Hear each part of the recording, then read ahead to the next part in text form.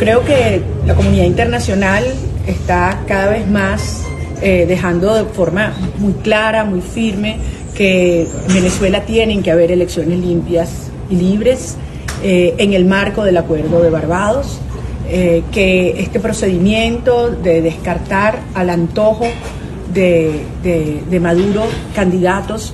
es claramente violatorio de la Constitución venezolana, pero también viola el Acuerdo de Barbados en su primer punto y yo creo que esta es una posición consistente con la que han tenido eh, cada vez más em, jefes de Estado y primer ministros en América Latina y en el mundo, lo cual agradecemos enormemente.